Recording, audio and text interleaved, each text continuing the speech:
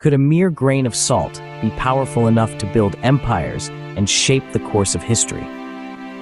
Let's ponder this seemingly simple substance that has wielded immense power over millennia. Salt, far more than just a kitchen staple, has been a cornerstone of civilization. This crystalline mineral has seasoned our food and preserved our meats, but its impact extends much further.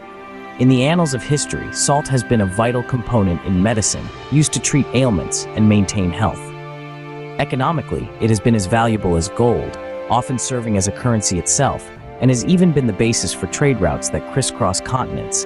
Biologically, salt is indispensable. It regulates fluid balance and conducts nerve impulses in our bodies. Without it, human life couldn't thrive. Civilizations have risen and fallen based on their access to this vital mineral. Now, let's journey back to ancient times, where the story of salt begins. In the cradle of civilization, salt was already a kingmaker. Long before empires rose and fell, this humble mineral was shaping destinies across the ancient world. Consider ancient Egypt, where the art of mummification relied heavily on salt. This wasn't just about preserving the bodies of pharaohs, it was a profound spiritual practice, ensuring safe passage to the afterlife. Salt, particularly natron, a naturally occurring mixture, was essential in drying out the body and preventing decay, making it a revered substance in the rituals of life and death. But the influence of salt stretched far beyond the embalming chambers of the pharaohs. As civilizations grew, so did the need for resources that could not always be found locally. Salt became a vital trading commodity, it was so valuable that extensive trade networks, the precursors to the famed Silk Roads, were established. These salt roads facilitated exchange and interaction between distant cultures, carrying not just salt, but ideas and innovations across continents. In the sprawling empire of Rome, salt was pivotal, not just in cuisine, but in economics and military logistics. Roman soldiers were sometimes paid with salt, a practice so ingrained in their economy that it gave us the word salary. This wasn't merely a method of payment, but a recognition of salt's worth, underscoring its role in sustaining the vast Roman military machine. From the Egyptians to the Romans, salt was not just a commodity, but a cornerstone of economic power. Imagine ancient roads where the white gold, salt, traveled across continents. These weren't mere dirt tracks, but lifelines, pulsing with the steady flow of caravans laden with one of the most sought-after commodities of the Old World. In Europe, these routes, famously known as salt roads, were more than just economic arteries. They were the backbone of civilizations, connecting distant peoples and empires. It was along these paths that cities sprouted, much like oases in a desert, each becoming a hub of bustling activity and cultural exchange. Towns like Salzburg, literally named after salt, owe their existence and prosperity to these vital trade paths. The impact of the salt roads extended beyond mere commerce.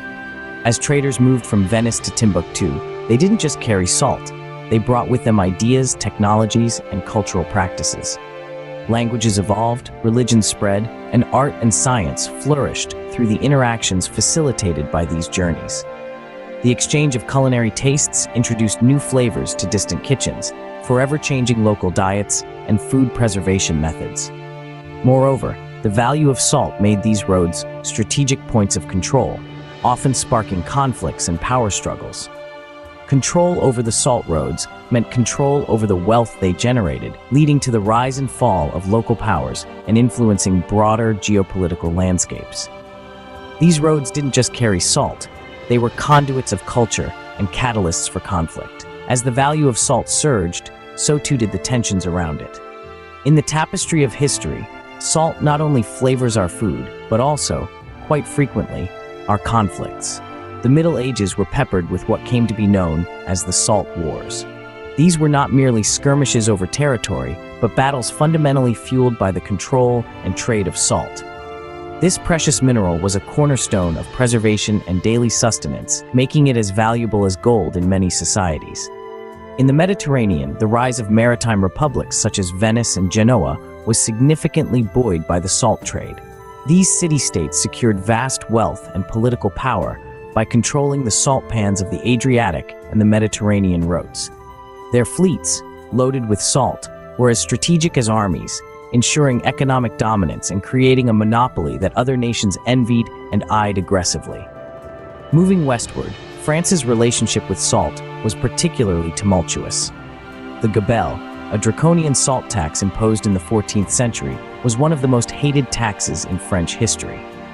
It varied wildly from region to region, creating not only a financial burden, but also widespread resentment among the populace.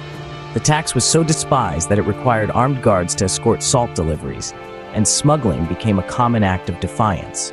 This oppressive tax highlighted the stark inequalities of the Ancien regime and fermented discontent among the common people. By making an everyday necessity like salt expensive and difficult to obtain, the gabelle sowed seeds of anger that would later blossom into the cataclysmic French Revolution. The very essence of salt, once a symbol of wealth and preservation, morphed into a symbol of oppression and injustice. Salt, so essential, became a symbol of oppression and a trigger for revolution. As we've seen, the impact of this humble mineral stretches far beyond our dining tables, embedding itself deeply into the crevices of history's most pivotal moments. Empires expanded, driven by the insatiable demand for salt.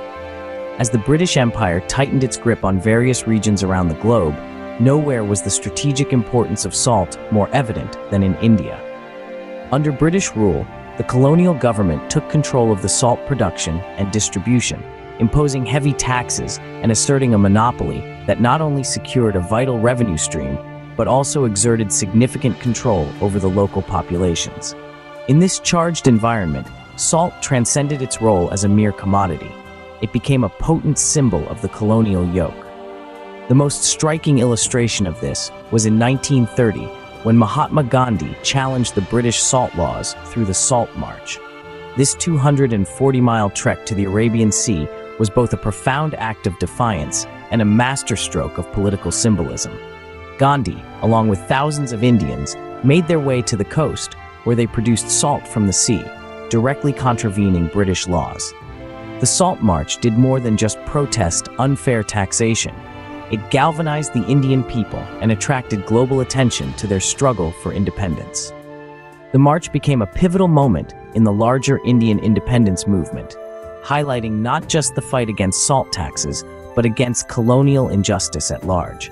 Thus, what began as a strategic control over a vital resource evolved into a significant chapter in the fight against colonial rule. From a resource to a symbol of resistance, salt continued to shape political landscapes. Today, salt still holds sway, though in different forms and contexts.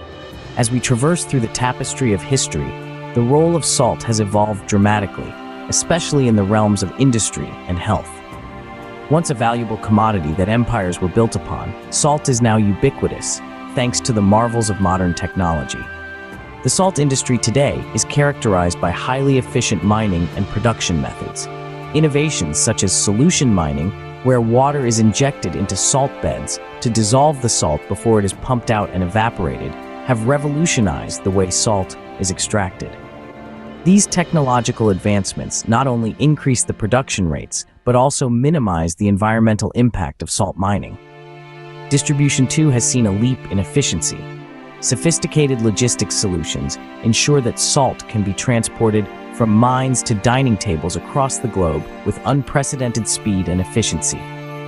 This global supply chain is a far cry from the arduous journeys made on the ancient salt roads. Shifting the lens to health, Salt's story takes a twist. Once celebrated for its preserving qualities, today the conversation around salt is often centered on its health implications. Medical experts debate the impact of salt consumption on human health, linking excessive intake to conditions such as hypertension and heart disease. This has spurred a new wave of dietary guidelines advocating for reduced salt consumption, reflecting a broader shift towards health consciousness. The journey of salt, from a precious resource to a health debate, mirrors the evolution of human societies. From ancient mummies to modern dining tables, salt has seasoned our history. This crystalline mineral, often taken for granted, has been a cornerstone of civilization. It's fascinating to recount how salt has not just flavored our food, but also shaped the contours of history. As we explored, salt was more than a culinary ingredient in the ancient world. It was an economic powerhouse, a currency that built and toppled empires.